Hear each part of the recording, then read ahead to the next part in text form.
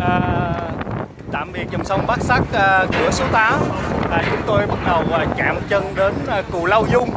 À, một cái cù lao à, rất lớn à, nằm án ngữ à, dòng sông Bát Sắc dòng sông Hậu trước khi dòng sông này đổ ra biển.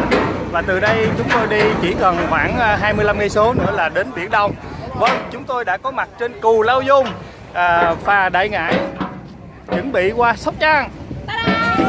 La lên la lên la lên.